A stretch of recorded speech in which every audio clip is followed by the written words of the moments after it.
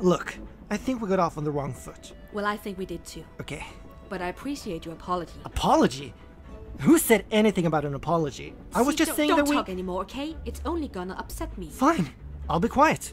I'll be quiet if you will. All right, I'll be quiet. Fine. Fine. Fine. Fine. you think you're gonna miss it? Miss what? You talking? No. Russia. No. But it was your home. It was the place I once lived.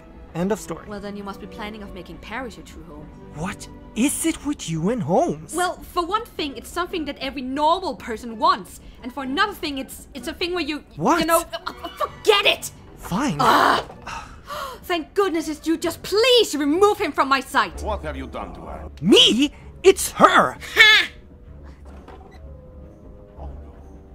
An unspoken attraction?